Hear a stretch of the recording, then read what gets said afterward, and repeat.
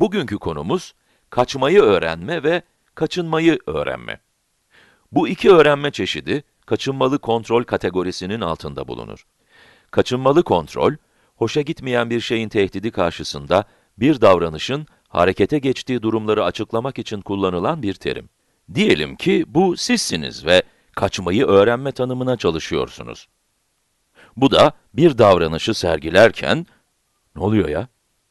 Yangın çıkıyor.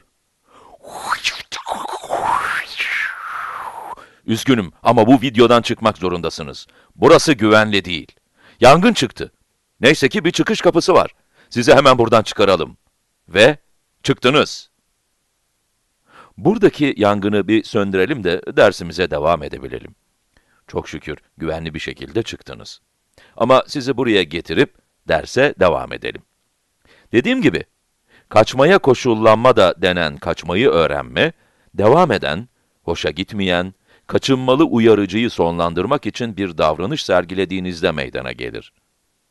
Kendi kendinize, çıkarın beni buradan dediğiniz zaman vereceğiniz bir tepkidir.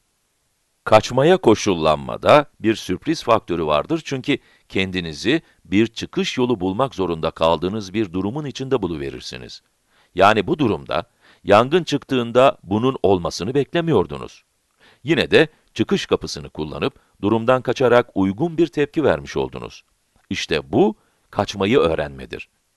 Eğer kaçınmalı veya hoşa gitmeyen uyarıcı meydana gelmeden önce bir çeşit belirti olursa, kaçmayı öğrenme, kaçınmayı öğrenmeye dönüşebilir.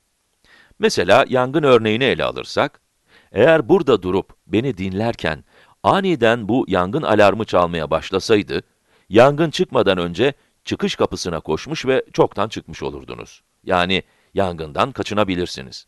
İşte bunlar kaçınmalı kontrolün iki çeşididir. Kaçmak ve kaçınmak.